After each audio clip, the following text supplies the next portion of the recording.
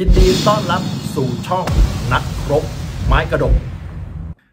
นับถอยหลังเศรษฐาเมื่อทักษิณพ้นโทษนะครับ ก็อีกไม่กี่เดือนนะครับ คุณทักษิณก็จะออกเจ้าพ้นโทษออกมาแล้วคำประกาศของคุณทักษิณแต่ที่ไปตามรายงานเนี่ยนะครับ หลาย ๆ คนก็มีการวิพากษ์วิจารณ์เอาไว้ มีการตั้งคำถามเอาไว้ว่า เอ๊ะการเนี่ยนะครับการที่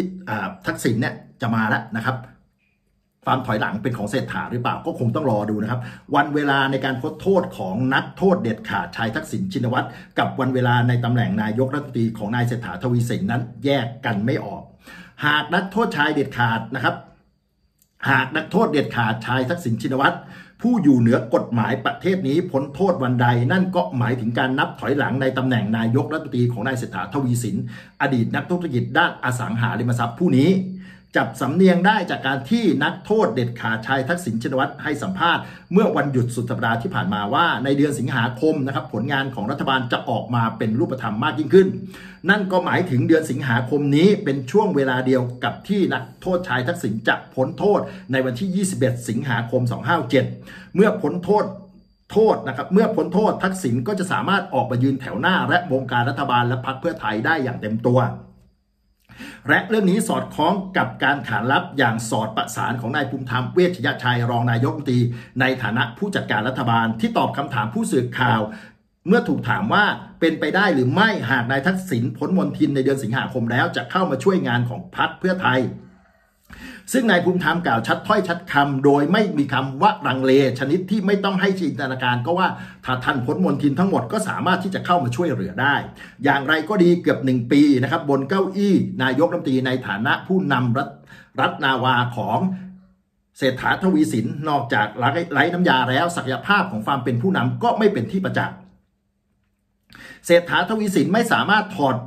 คราบนะครับฟาร์มเป็นพ่อค้าได้ นอกจากอ่อนด้อยเรื่องการบริหารราชการแผ่นดินแล้วคำว่าการะเทศะ ซึ่งหมายถึง การเวลาและสถานที่ในตำแหน่งนายกรัฐมนตรีอันเป็นตำแหน่งสูงสุดของผู้บริหารประเทศ ปรากฏว่าคนอย่างนายเศรษฐาก็แยกแยะไม่ถูก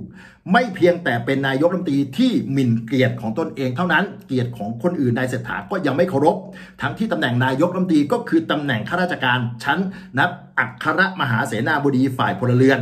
ซึ่งมีหน้าที่ดูแลรับผิดชอบ และเป็นประธานที่ประชุมในเสนาบดีของฝ่ายพลเรือน นายกรัฐมนตรีหุ่นเชิดของนักโทษชายเด็ดขาดทักษิณชินวัตรนามว่าเศรษฐาทวีสินผู้นี้ แยกแยะไม่ถูกระหว่างพ่อค้าบ้านจัดสรรกับความเป็นนายกรัฐมนตรี นุ่งกางเกงยีนขารีบนะครับโดยกางเกงเกือบจะหลุดออกจากก้น เวลาเดินคอยดึงรั้งอยู่ตลอด ที่เอวอยู่ตลอดเวลา มิหนำซ้ำยังสวมถุงเท้าแดง ถุงเท้ามีสีที่ต้อง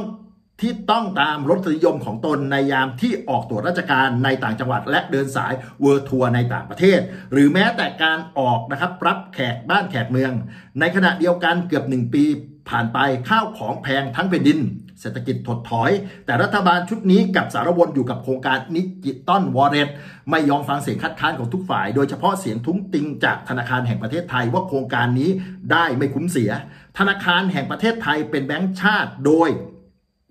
หรือธนาคารแห่งประเทศไทยหรือแบงก์ชาติ โดยนายเศรษฐพุทธสุทธิวนาธนพุทธผู้ว่าการธนาคารแห่งประเทศไทย เคยมีหนังสือแนะแนะแนะเสนอแนะรัฐบาลเศรษฐา ถึงข้อนะครับน่าเป็นห่วงเกี่ยวกับโครงการนี้ว่ามีปัญหาตามมาอย่างน้อย 3 ประการด้วยกันประการแรกเนี่ยก็คือโครงการดิจิตอลวอลเล็ตจะก่อให้เกิดภาวะทางการเงินการคลังจำนวนมากในระยะยาวซึ่งถ้าหากไม่สามารถรักษาเสถียรภาพภาระหนี้ได้นะครับ จะเพิ่มความเสี่ยงที่ประเทศไทย ด้วยการถูกปรับลดอันดับความน่าเชื่อถือ ประการที่2นะครับการดำเนินโครงการดิจิตอลวอลเล็ตที่ใช้วงเงินงบประมาณสูง จะทำให้ความสามารถในการดำเนินนโยบายการคลังอื่น ๆ ของรัฐบาลลดลง และมีความเสี่ยงที่จะมีงบประมาณไม่เพียงพอรองรับกับภาวะฉุกเฉิน โดยเฉพาะเพิ่มวงเงินงบประมาณในปี 2568 จนเกือบจะเต็มกรอบที่กฎหมายกำหนดทำให้วงเงิน กู้ได้อีกราว 5,000 ล้านบาท เมื่อเทียบกับวงเงินเหลือเฉลี่ยในปีก่อนที่มากกว่า1แสนล้านบาท ประการที่ 3 การจัดสรรวงเงินงบประมาณปี 2567ทำให้งบประมาณสำรองนะครับกรณีใช้จ่ายฉุกเฉิน หรือในกรณีที่จำเป็นลดลงอย่างอาจไม่เพียงรองรับกรณีฉุกเฉินและจำเป็นภายใต้สถานการณ์ของโรคที่มีความเสี่ยงสูง และนะครับภาวะภัยพิบัติที่มีความทุ รุนแรงเพิ่มมากขึ้น ข้อทุงติงทั้ง 3 ประการดังกล่าวของธนาคารแห่งประเทศไทย ซึ่งเป็นองค์องค์เป็นองค์กรที่มีหน้าที่นะครับหลักในการบริหารจัดการให้ระบบเศรษฐกิจและการเงินของประเทศดำเนินไปนะครับไม่สุ่มเสี่ยงไม่เพียงแต่รัฐบาลไม่ฟังแต่ยังพยายามกดดันธนาคารแห่งประเทศไทย ในทุกทางในการตอบสนองของของนะครับรัฐบาลนี่ก็คือข้อมูลที่ออกมาณตอนนี้ครับมีอะไรอัปเดตมีอะไรเคลื่อนไหวมีอะไรขึ้นหน้าอัปเดตให้ฟังครับ